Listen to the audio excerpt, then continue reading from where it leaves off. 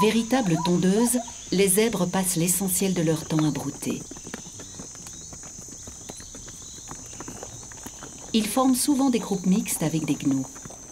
Plus les animaux sont nombreux, plus grandes sont les chances que l'un d'eux repère un prédateur et donne l'alarme.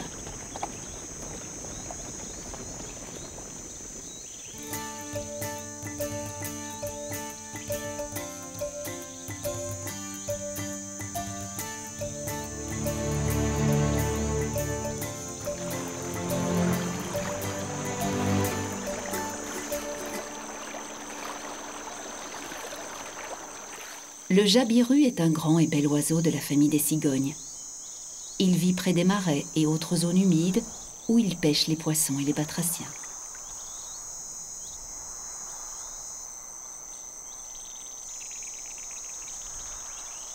Il a construit son nid au sommet d'un arbre isolé au milieu de la savane.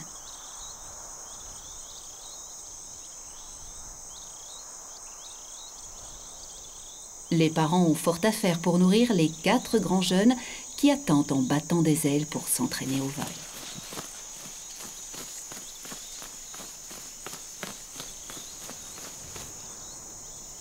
Mais ce poisson-chat n'est-il pas trop grand pour être avalé tout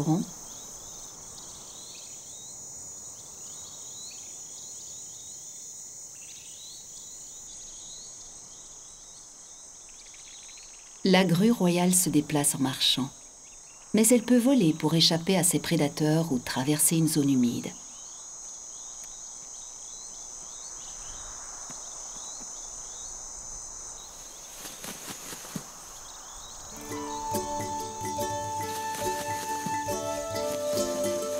Les jeunes, eux, en sont incapables. Heureusement, ils sont si légers qu'ils peuvent traverser l'eau en marchant sur les jacinthes aquatiques qui flottent à la surface, tout comme le fait le jacana. Les zones marécageuses sont des endroits fort fréquentés. Les animaux y trouvent de la nourriture et de l'eau en permanence.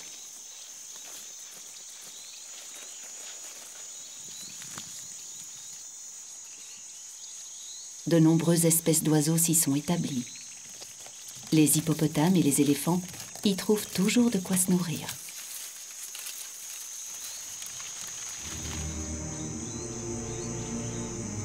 C'est la matriarche qui dirige le troupeau d'éléphants dans ses déplacements. Les tout petits sont regroupés au milieu, où ils sont bien protégés. Quand la troupe s'arrête pour brouter, ils font aussi l'objet d'une surveillance et d'une protection constante les grands mâles vivent solitaires et ne se joignent au troupeau que pour se reproduire. Herbivore, l'éléphant mange une grande variété de végétaux. Il passe l'essentiel de son temps à brouter. Normal, si l'on sait qu'il avale chaque jour de 100 à 200 kg de nourriture. La savane est traversée par la rivière Mara. Son flot parfois impétueux ne gêne pas les éléphants qui viennent y boire et se baigner. Cette rivière est providentielle. Elle fournit de l'eau toute l'année aux animaux.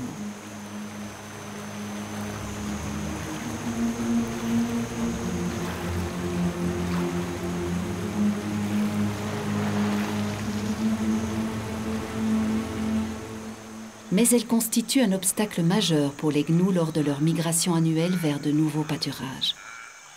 Ces animaux parcourent plusieurs milliers de kilomètres en quête de nourriture et ils arrivent affamés et assoiffés.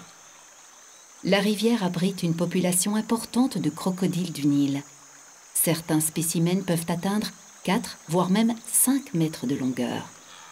Ils attendent l'arrivée des gnous avec impatience. Beaucoup d'entre eux n'ont sans doute plus rien avalé depuis la migration de l'an dernier et sont affamés. Les gnous se regroupent sur la berge. Ils semblent hésiter. Il en arrive de toutes parts. Soudain, c'est la ruée. Ils se précipitent à l'eau et tentent de rejoindre la berge opposée le plus rapidement possible. Devant la masse qui défile, les crocodiles ont parfois de la peine à faire leur choix. La plupart des gnous arriveront à traverser, mais pas tous.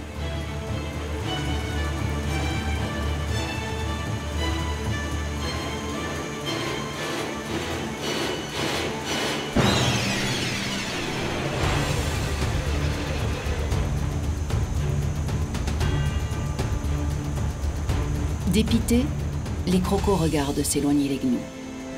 Ceux qui n'auront pas réussi à en capturer un au passage pourront se tourner vers les cadavres des animaux qui se sont noyés.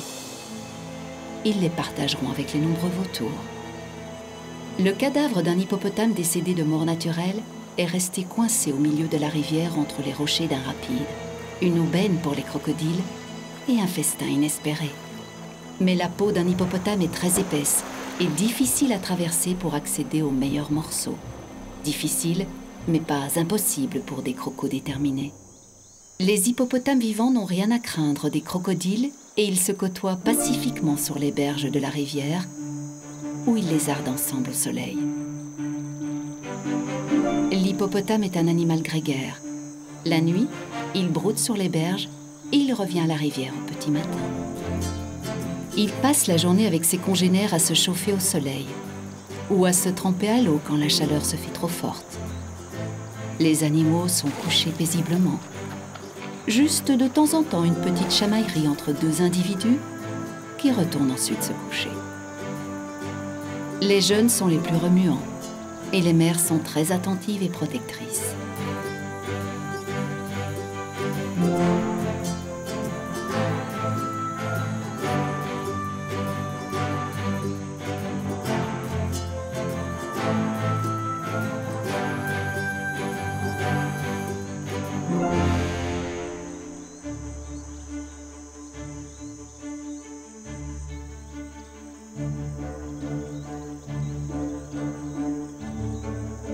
Le Damalisque topi est une étrange antilope.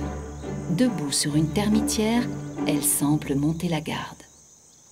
Elle peut rester immobile un très très long moment. Une femelle s'est couchée un peu à l'écart du troupeau pour mettre bas.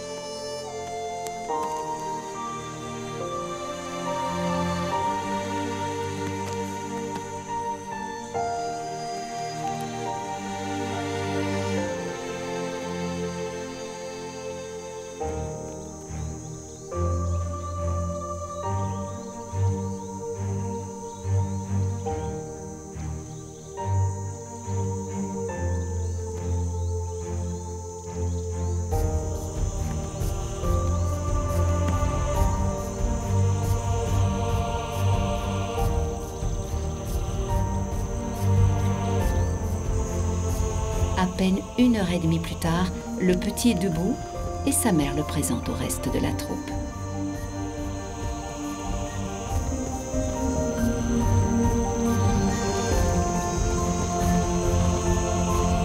Les présentations faites, ils se mettent tous en route et s'éloignent en encadrant le nouveau-né. Le jeune topi n'a rien à craindre du cerval. Ce félin ne chasse que les lézards et les petits rongeurs. Ses grandes oreilles lui permettent de repérer ses proies à l'ouïe dans les hautes herbes.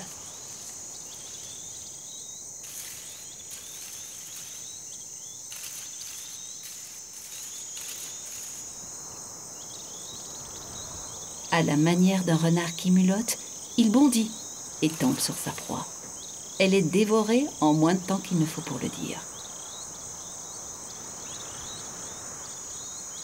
Tandis que le troupeau de buffles se repose et rumine, une femelle a donné naissance à un petit en bordure du marais. Âgé de moins d'une heure, il tient à peine sur ses pattes et avance encadré par sa mère et deux autres femelles. Mais le petit groupe n'a pas vu qu'il se dirige vers une troupe de lions.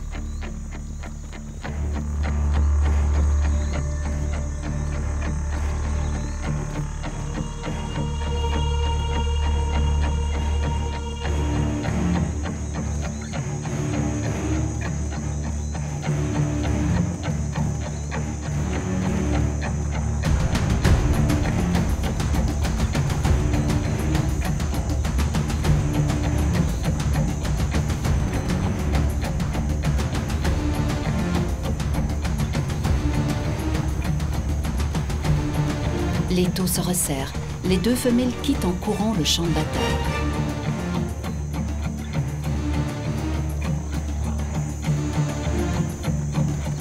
Le sort du bufflon est scellé. La mère seule ne pourra tenir tête au lion et éviter qu'il ne dévore son petit.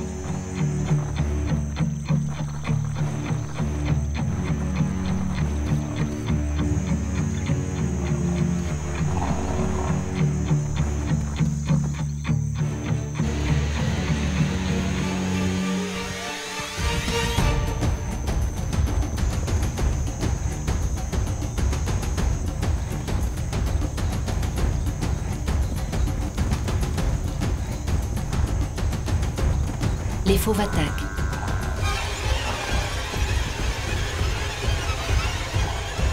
Et vont tout faire pour dévorer le jeune.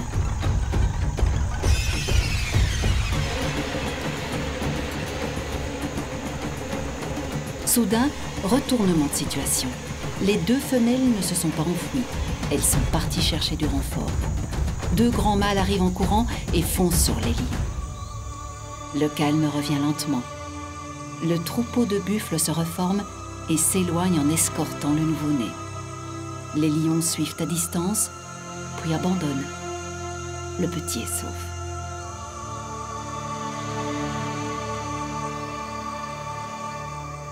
L'après-midi est bien avancé. C'est le moment où les léopards sortent de leur torpeur et se mettent en route. Adultes et jeunes passent les journées perchés dans les arbres où ils risquent peu d'être dérangés.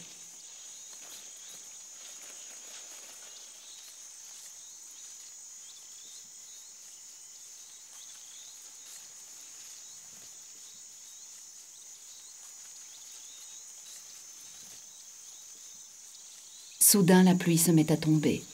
En un instant, tout est trempé. Surpris, un impala n'a pas vu arriver le léopard qui s'en saisit en un éclair. Il traîne sa proie à l'abri des buissons où il va la dévorer. La pluie trempe la lionne et ses lionceaux, mais cela ne les gêne pas pour jouer. Les babouins attendent stoïquement qu'elle cesse et s'ébrouent de temps en temps.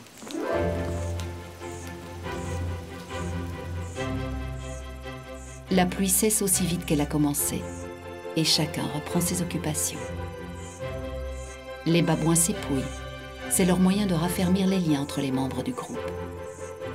Les jeunes jouent et se chamaillent.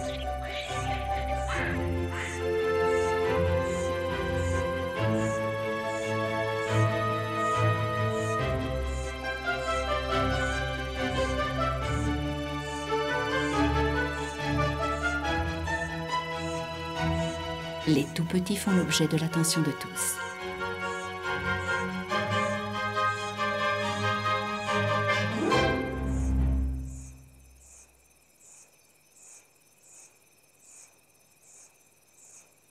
La fin de la journée est proche.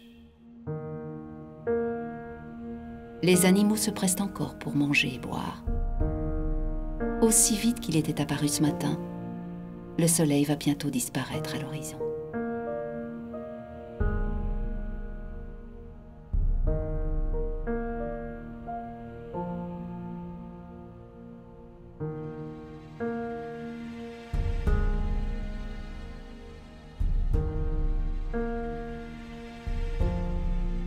Ciel s'enflamme à nouveau.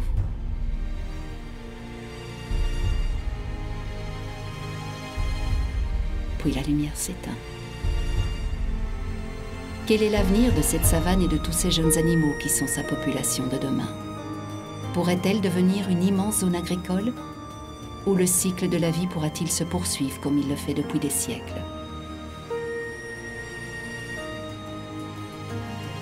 Les hommes auront-ils la sagesse de la préserver? La réponse ne dépend que de nous tous.